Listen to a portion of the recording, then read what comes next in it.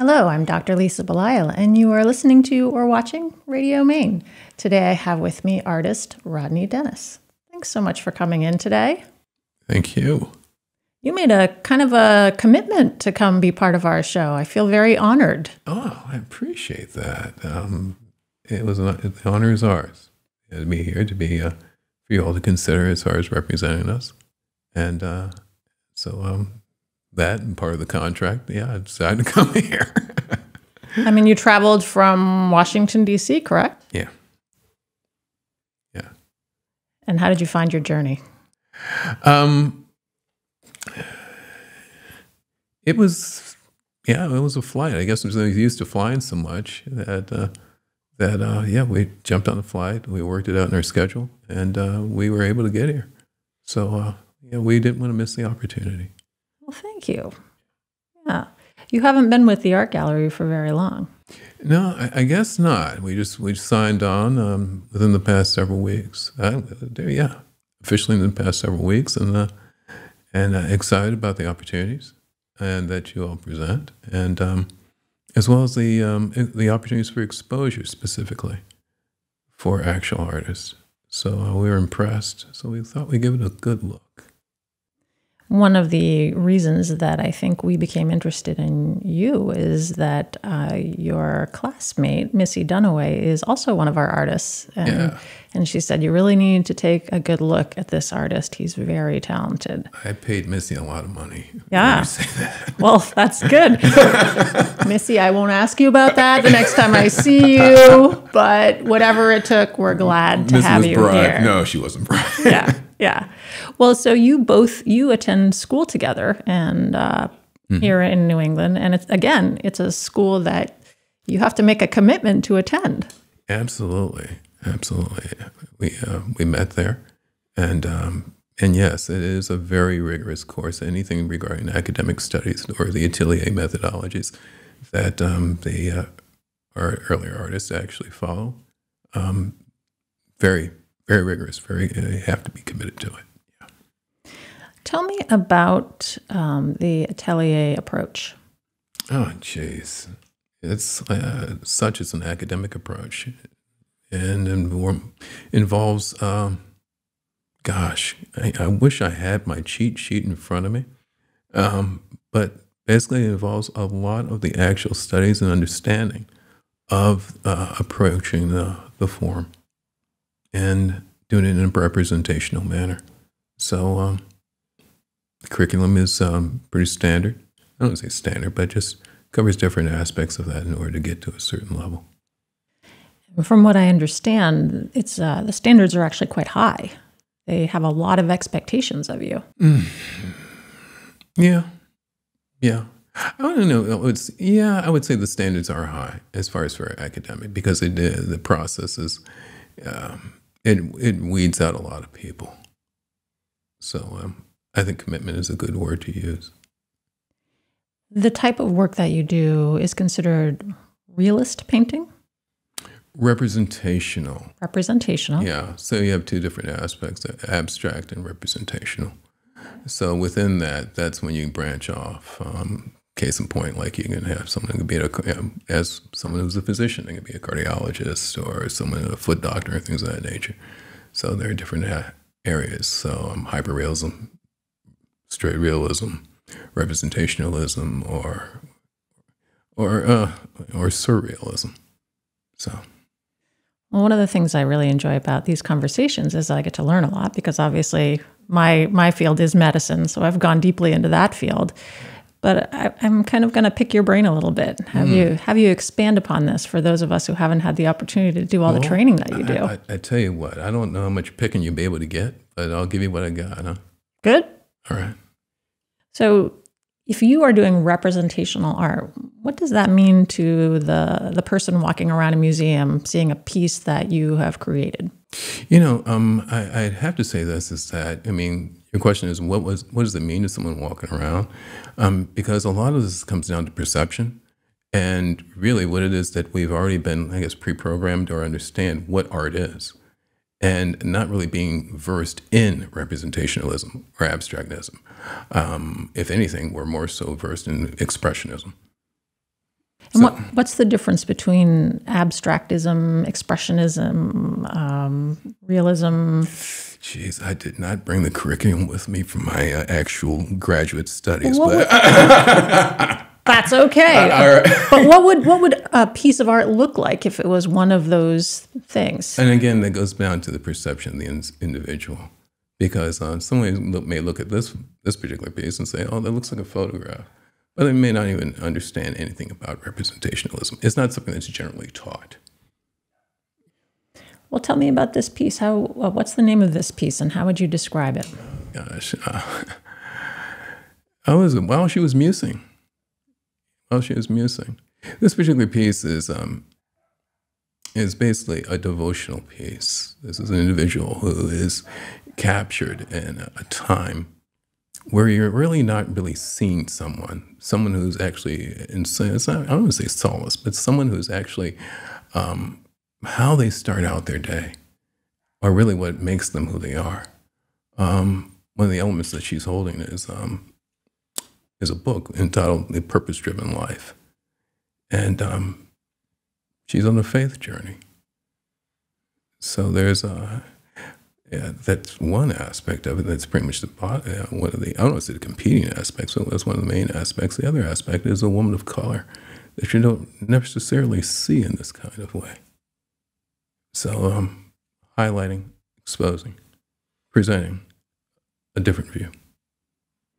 How are women of color usually represented in art?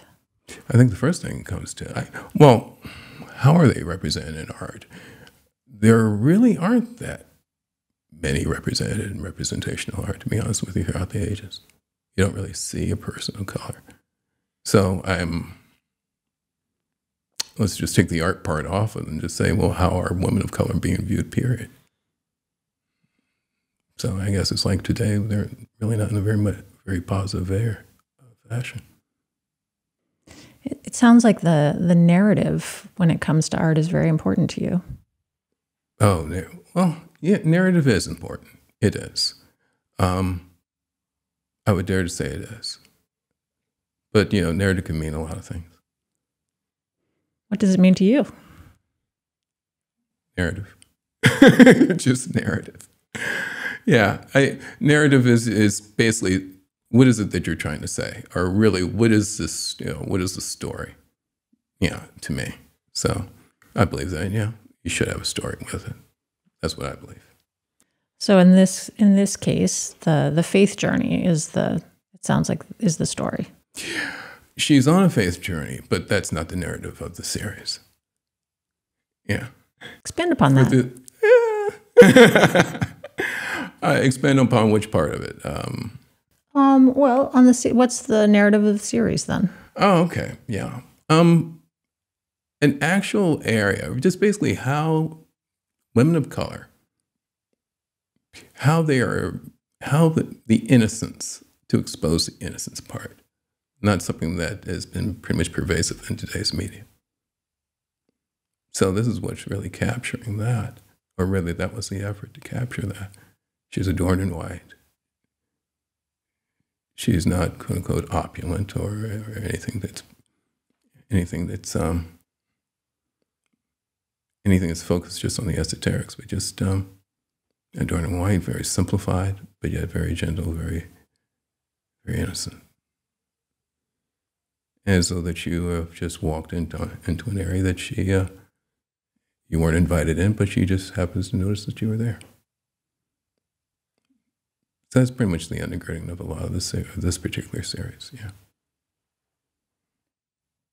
Do you think that this is limited to women of color? Do you think men of color are represented in art? Neither. Yeah. Yeah. Not in representationalism. Abstractism, yeah, but not in representationalism. Yeah. And it goes back to as far as, well, what's the difference between abs- abstractism and representationalism? But as far as actually um, the representation of, uh, of people of color and the um, in the arts of actually uh, what you actually are viewing, no. You've been doing art for a very long time. You started when you were quite young. hmm did you have people in your life who suggested that you do art or supported you in your in your art? Gosh, I tell you, I tell you what, that's a. Did I have people who? I'm trying to understand your question more so. Well, let's just say in your family. Did your family see that you were interested in art and try to find ways so that you could engage in it from an early age? Not at all. Not at all. This uh, it's not something that's very. Uh, um, in my particular family, it's not something that um, uh, they were more concerned about how I was gonna, how I was going to make a living. Yeah. So um, they did see something very special. So, um, but no, no, they didn't really understand it. So, if you're in a family that doesn't really understand your art, but it's something that you feel strongly about, how did you find it within yourself to keep moving forward? At the age of five, Yeah. I wouldn't even understand the question you asked me. You just knew you liked it and you knew you were going to do it. And I don't know. I really don't know. Really, I mean, I mean, at that age, I- I just don't really think that it's that formulaic. To be honest with you, I just think that it's just, hey, it's something that um, that I liked, that I did. I really wasn't thinking about it as far as whether or not I liked it or or whether or not um, I got support for it or whatnot. It was just something I did. So you, so around the age of five, did you continue to seek art instruction while you were going up through school? Did I seek it Yeah. at the age of five? Oh, I guess I mean, you know, I've talked to some artists who's who went to high schools where there was a strong art program and they had mentorship and they had instruction at their high schools. And so I guess I'm not talking age of five now. I'm talking kind of fast forward a little bit. Yeah, um, you know what? I, I guess um, I think for in, in the realm as far as you know, Washington D.C. as far as community, um, as far as being a yeah, person of color, and that would you know, in my mind, it would say opportunity. I don't think we had those kind of opportunities growing up, and I say we as far as my generation or who I grew up with. Um, they were very limited. It's uh, for someone to come along and invest yeah, that kind of way. So, did I seek it? I didn't even know what to seek. Um, a lot of good things happened um, when people recognized what was in front of them. Um, but um, and me personally, I, I didn't know what. To, I just basically just whatever I could get my hands on in order to do what I wanted to do as far as art wise from what I can remember. It was a long time ago. Yeah, okay. Oh, thanks, Lisa. Yeah, that, I- that's true. I guess uh, it- five was a long time ago for me too. So, Yeah. yeah, I, I gotcha. I gotcha. So, when you finished your, let's say, under your high school education, and you decided to move forward with art training and art education, what were some of the things that you were considering when choosing the path to take? You know, um, I think what were the things I was considering? It again. I just, yeah, I really think good. Yeah, I really am thankful for the advisements. Um, those individuals who came along and who um, who saw, or rather, who had experience, or who had the education, or who could direct me. Um, so I think that was really what was the uh, the driving force. People call it. People call it or something else or whatnot. But there were some people who just came along and just said, "Hey, listen, you know, let's go and take a look at this, or here here's some other options," and open up a breadth of uh, other opportunities.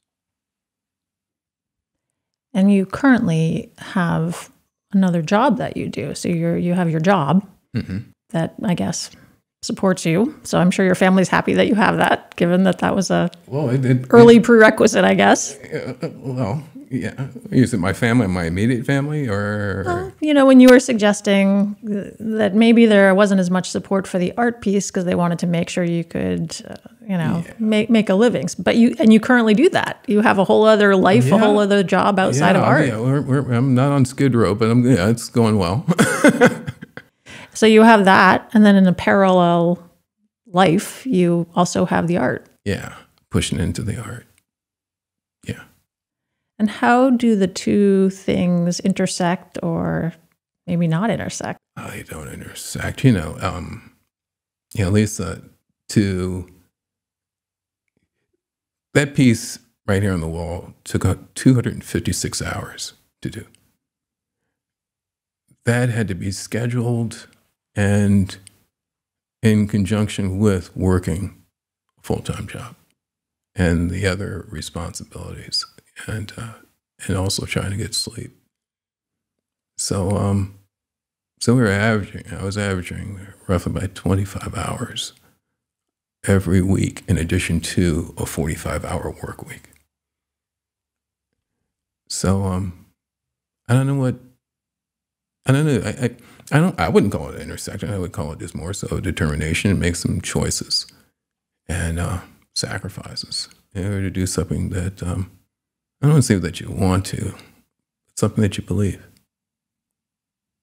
Something you have to believe in. You're an early riser. What, is that, what does that mean? Oh, 4 a.m. 4 a.m. I mean, to most people, that's an early riser, I would think. Yeah. do you do uh, any of your art before you try to get into work, or where do you schedule that? 4 a.m. Yeah, I'm too busy trying to go ahead and try to take care of Rod, so I try to get some exercise in, and um, you know, and then, um, but no, not in the morning time to do that because I usually have to uh, clock in or log in at 6:30 a.m. For your job. for my job. What job do you do that causes you to need to do that at 6:30 a.m.? work for the U.S. federal. Yeah, I used to work for the federal government, and uh, and that was uh, that's part of what I what I do. Yeah. So yeah. So I work a pretty full day. So where do you fit all of these hours? Um. So I get up. I do a compressed schedule. This is the secret. So get up and log in at 6.30 i do four 10-hour days that sometimes or rather 10 to 12 hour days that's monday through thursday and then friday and saturday that's when i get up and paint access between 10 to 13 hours a day and then another six hours or four, to, four hours on sunday and do it all over again So that doesn't seem to leave a lot of time for things like sleep. One of the reasons why i get up so early But then you also travel from Washington, D.C. up to Boston, I believe, for Oh. your education. And I was in the absolutely in school, so I would catch a catch a flight. Yeah, Thursday morning, uh, six a.m. flight, and then uh, go to a remote site, log in on that Thursday, and then leave a few hours earlier by actually taking some leave, and then go to go to class, and then go to class again all day Friday, and then go to class again majority of Saturday, and then fly back to Washington D.C. I mean, that's incredible dedication. I guess you got to believe in it. Yeah. Yeah. So I don't know. I mean, back to your question, but as far as the intersecting piece, I never looked at it like that. Yeah. So you have your job that enables you to to make a living, and then you have the art, which is how you make a life. oh, hopefully the art will help me to make a living. It's something I like to do. Yeah. I guess it's, yeah. Uh, if that's what you're asking, how do I view the art uh, path? Is that what you're asking? Well, I mean, I think you're bringing up something that's very real. That in the end, you're. I assume that at some point you'll stop working the federal government job and move more fully into the art as your formal. Yeah. Well, hopefully. Yeah, hopefully. But hey, it still has to be supported. Yeah, one way, shape, or form. You and I are not that dissimilar, really. And you were asking me this question before because I also have my other my job, my real Yeah. job, which doesn't really have a lot of intersection with what I do here. And I also feel really strongly about the work that I do here. And so for me, it is the the fact that it it is something that resonates with me so deeply that keeps me kind of pushing through and and having this parallel um, existence, I guess. Hmm. That's interesting. And it's funny because you said they they it's almost like they both don't relate. Yeah. What I do um, professionally, or rather for the, for work, and what I do here, they're basically the core. They basically, to me, they're the same thing. It's In what way? Communication. Yeah. Um, I think I wrote down one of the um, one of the answers there um, regarding as far as I, I, think I mentioned it mentioned it at the beginning of there, but as far as uh, communication, and um, and it ties back into as far as you know, or rather, that you were asking. Uh, I can't remember which question it was, but when I said the, uh, you were like the differences between abstractism and and um, representationalism. But you know, the thing about is this is that I believe that it's a responsibility because image making is a responsibility. And but for any interpersonal dynamic, that is a responsibility. That's not just a right. So this is something that I mean, so and I appreciate as far as the compliment you made. You said I see a lot of detail, and this is a beautiful piece. But my objective, or rather, the whole objective, is what is it that communicates, whether or not you connect with it, and whether or not it meets an objective. I mean, all communication has to meet an objective, as opposed to just talking to someone or talking at someone. Or I just have something to say, whether or not you're listening or not. Yeah.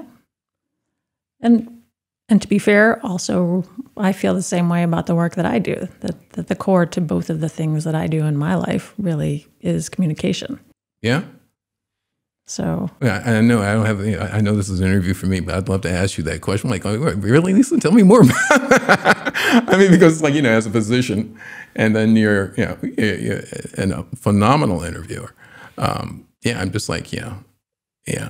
It's like you know, it's almost like you know a, a faith and practice kind of thing. It was like you know, really, what is it that you know, the why, and then you have as far as okay, the implementation thereof. So I was like you know, what's you know, really, how's the intersecting there? Um, but yeah, uh, a lot of times, uh, in my experience, as far as art, oh, I just felt like doing this, or I, you know, uh, this is something that, and you know, has inspired me to do this, or I'm passionate about it, which I'm like going, well, you can be passionate about just chewing gum. I'm just saying that, you know, there are things, you know, but do you believe in it, and why do you do? Is this something that drives you, not just so you can just get it out, but how does it affect other people? And I think that's a responsibility.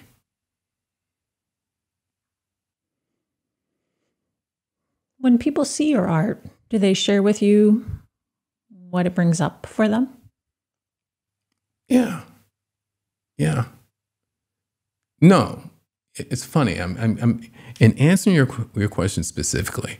No, it doesn't. What it brings up for them yeah, it really depends on you know what lens they're looking at it through. You know.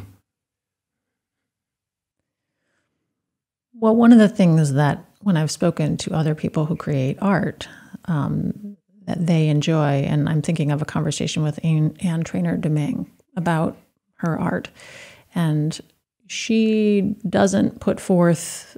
She puts forth the art, and then she waits for how people uh, respond to it themselves because she doesn't want to dictate what it is that they see or interpret necessarily.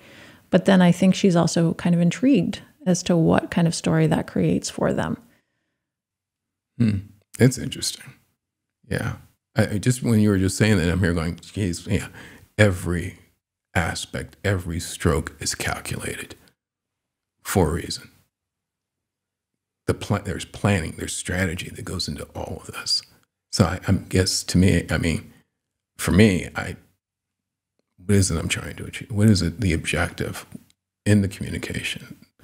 Uh, there's a there's a study that uh, um, research that says that a perception is is made. A person makes a decision perceptually within 4.5 seconds. And that's all I got to communicate.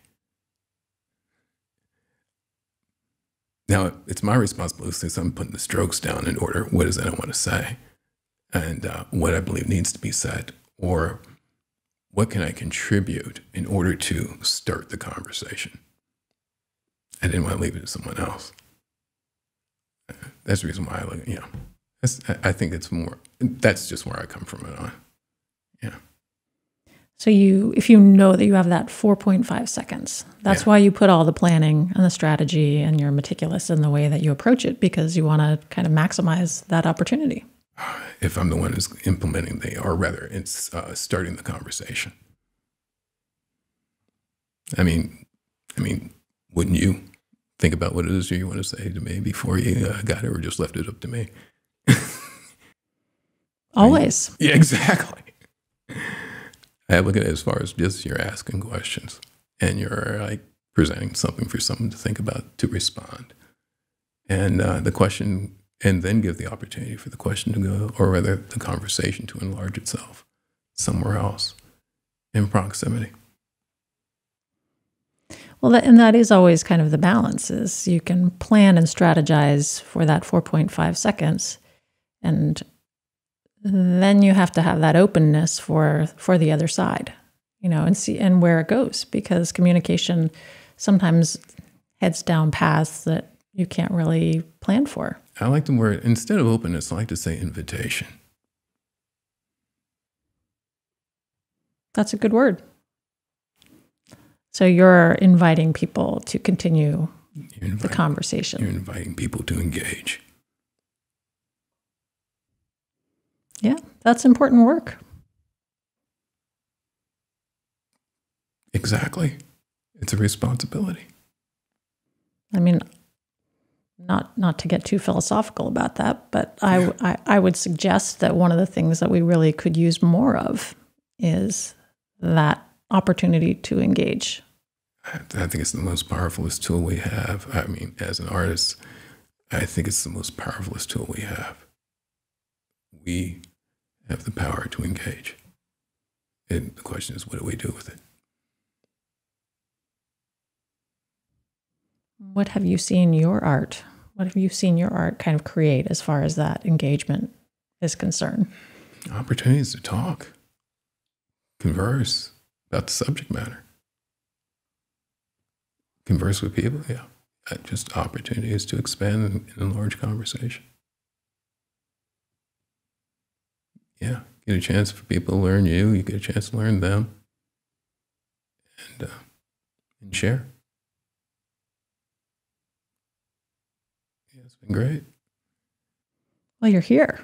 Yeah, I never imagined being in, in, in this part of Maine before. Yes, Littlejohn Island, Greater Portland. Yeah, exactly. You probably don't even you're quite know exactly where you are with this rapid turnaround, right? I, I it's just, this is really a wonderful, wonderful trip. This is just wonderful to me. Yeah, absolutely. I never even heard of Littlejohn Island until eh, until Emma told me.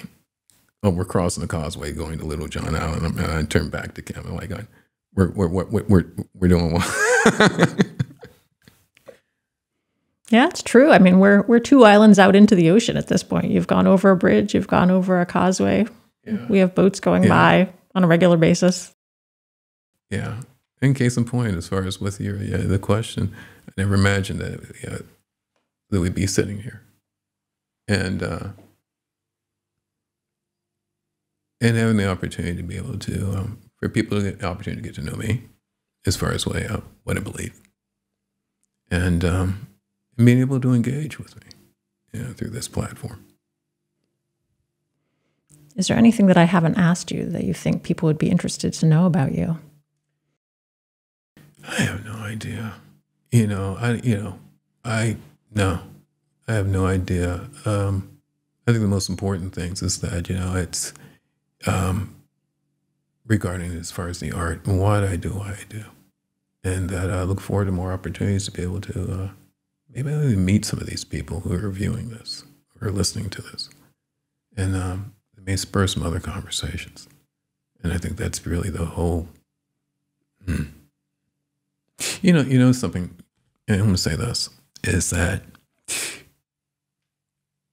colleague of mine, he, he recently brought this up to me. He says, You know, Rod, um, I'm really looking at being a quote unquote professional artist differently. And um, he says, I um, a friend of his sent him something on Instagram, and it had to do with serving. What way does this serve other people?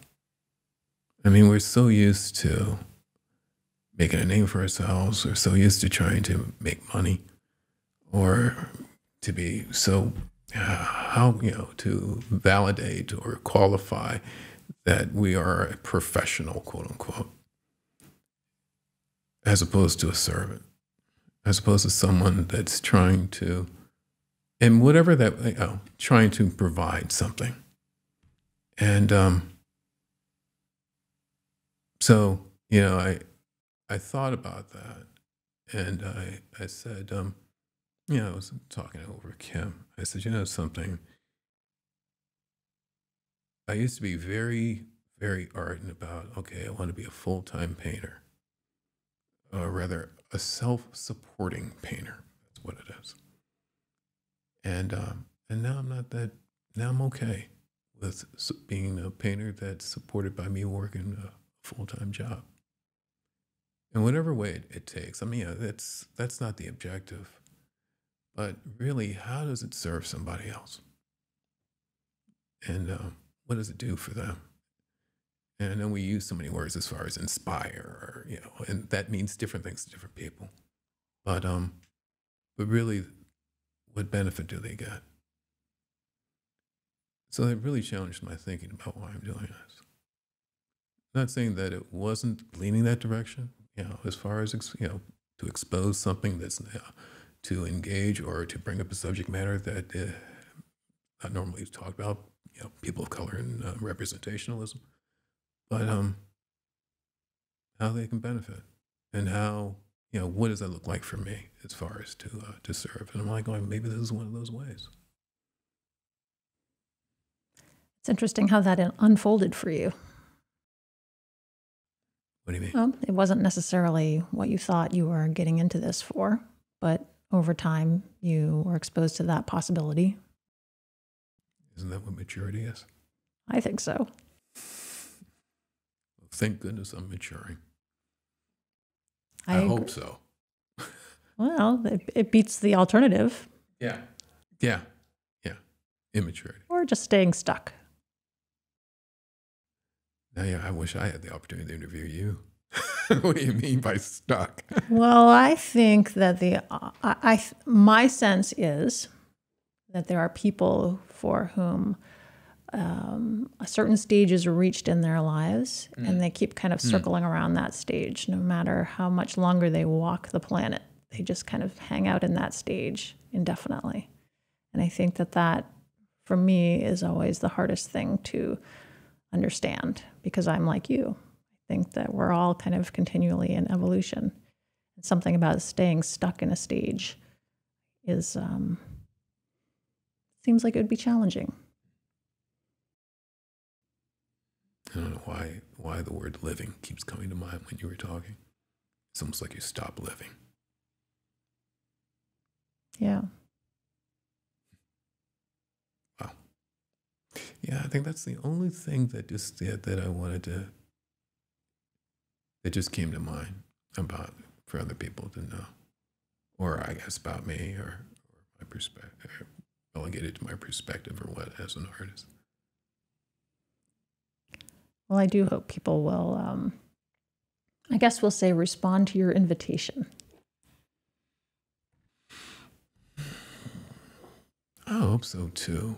You know, we, um, I mean, you, you watch the news, and we're in a society, and uh, especially over the past 24 months, where uh, not many invitations are given. So I hope so too. Well, I appreciate you responding to our invitation to come here today. We wouldn't have missed it, and she wouldn't have missed it wherever she is out on the island right now. So she wouldn't have missed You're talking about Kim now. I'm talking about, I'm talking about Kim. Yeah. Thank you for bringing her along. Oh, oh, she. I wouldn't have had it any other way. We, um, I wouldn't have had it any other way. I'm wondering that we we're we're in this together. Well, I hope that you both have the opportunity to enjoy really what's a wonderful day here in Maine. Or at least worth a trip back. Yes. We'll see how, well, well, yeah, hopefully my negotiations will go well with that. Yes. Yes. Well, we're trying to make it as easy as possible here with the wonderful weather that is being provided to move those negotiations forward in a positive direction for you. Well, put in a good word, Lisa. Um, you know, you can like nudge or whatnot, please, and just don't just leave my name out of Okay. it. You know. Okay. I'll do it in a very subtle way. Very good. Well, I very much appreciate having the chance to talk with you today.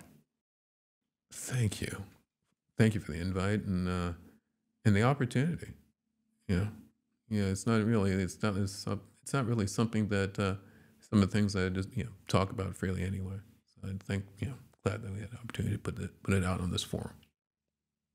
I've been speaking with Portland Art Gallery artist Rodney Dennis, and I hope that you will accept his invitation to engage, as I think that you'll find um, he's a fascinating individual. There's a lot there.